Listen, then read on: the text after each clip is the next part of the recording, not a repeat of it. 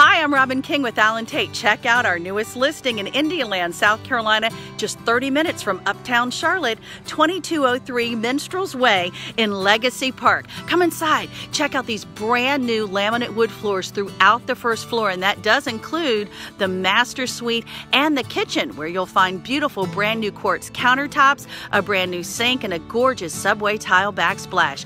Upstairs, three additional bedrooms. There's brand new paint throughout the entire home brand new carpet, and look at this awesome backyard, fenced in and lots of mature shade trees for the summertime.